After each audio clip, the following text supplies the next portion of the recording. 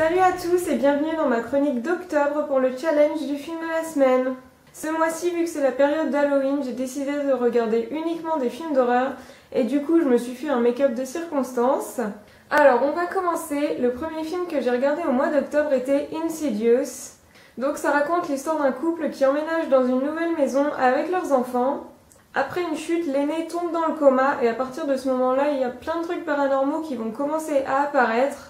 Alors du coup, en fait, les parents font appel à un médium qui leur dit qu'en fait, leur fils se balade dans une autre dimension en mode voyage astral et que des entités maléfiques veulent s'emparer de son corps et donc pour le sauver, son papa veut le rejoindre pour essayer de le ramener.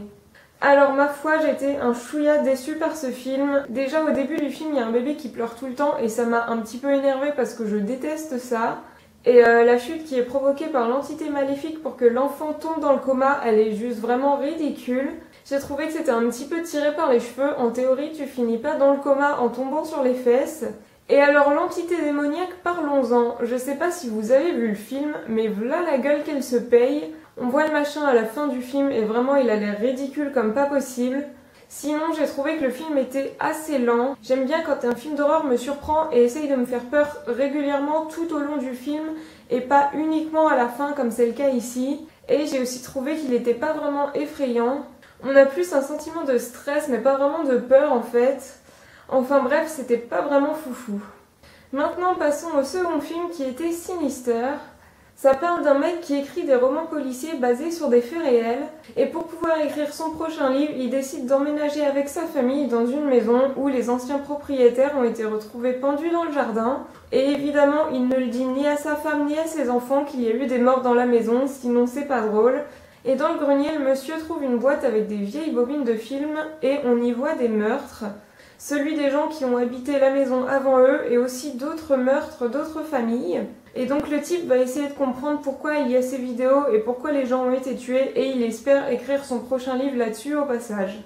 Alors déjà ce film il est vachement mieux qu'Insidious, sachant que c'est les mêmes gens qui ont bossé dessus je crois. Bon par contre j'ai trouvé que le mec était un gros trou du cul de pas avoir dit à sa femme qu'il vivait dans une maison où euh, des gens ont été assassinés. C'est quand même un petit peu moyen. Et évidemment au début le mec il croit que c'est un espèce de serial killer qui a tué tous ces gens mais non, au bout d'un moment, il se rend compte qu'en fait, c'est un espèce de démon. Malheureusement, la fin du film ne m'a pas surprise puisque dès le début, j'avais une théorie et en fait, c'était la bonne. C'était juste une idée qui m'était passée par la tête. J'étais pas certaine que ça serait ça. Mais du coup, forcément, ça m'a moins surprise que si j'y avais pas pensé du tout. C'est ça qui est un peu embêtant quand on regarde beaucoup de films ou de séries. À force, on finit par connaître un petit peu les codes et du coup, il n'y a plus vraiment de surprise. Enfin, malgré ça, c'était quand même un film sympa, et si vous n'êtes pas comme moi, vous serez probablement surpris par la fin. Le troisième film d'horreur était Mama. En fait, ça raconte l'histoire de deux petites filles qui sont sœurs et qui ont mystérieusement disparu le jour où leurs parents ont été tués. Les policiers les ont cherchés et ils les ont jamais retrouvés. Et cinq ans après, ils les retrouvent enfin dans une cabane abandonnée. Et donc, vu qu'elles ont plus de parents, les filles vont habiter chez leur oncle Lucas et sa copine Annabelle. Annabelle finit par se retrouver seule avec les deux petites filles dans la maison puisque son copain a un accident et il finit à l'hôpital. Elle se rend compte que les deux gamines parlent tout le temps d'une certaine mama et au bout d'un moment elle remarque qu'il y a vraiment un truc pas normal. Bon déjà je pense qu'on peut commencer par dire que les deux gamines ont un sérieux pet au casque. Elles font vraiment flipper avec leur petit air sauvage.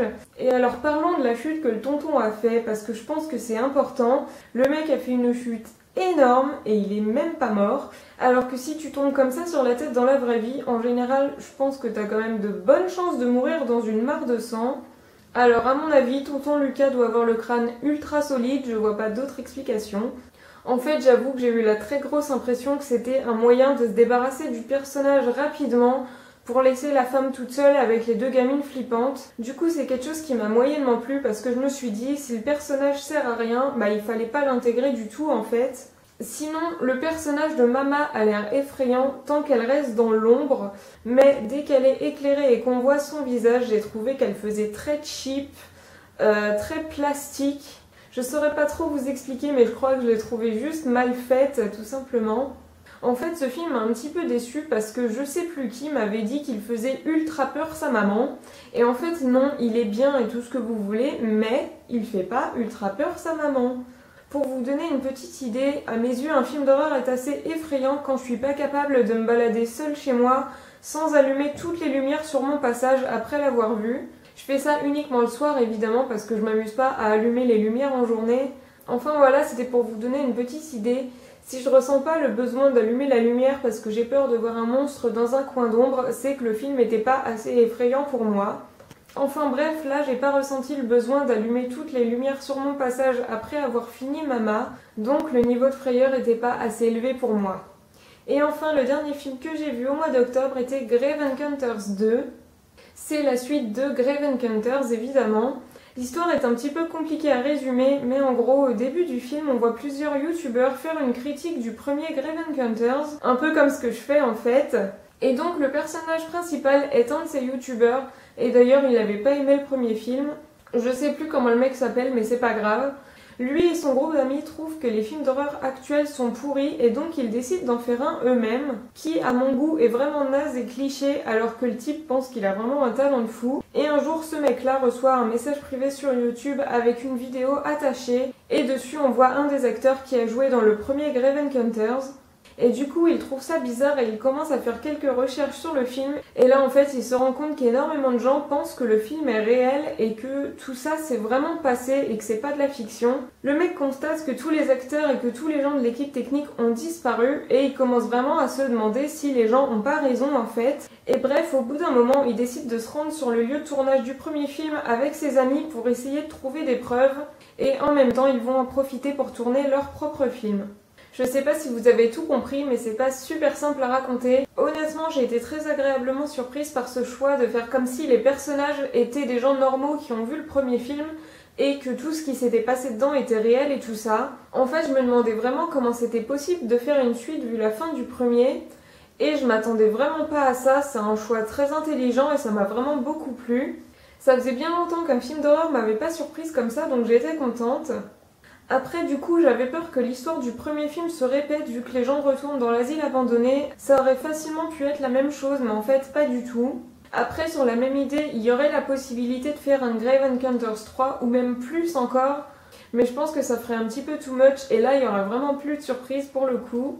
En tout cas, ce film m'a agréablement surprise, même s'il était légèrement moins effrayant que le premier, et je pense que c'est le film que j'ai préféré regarder ce mois-ci.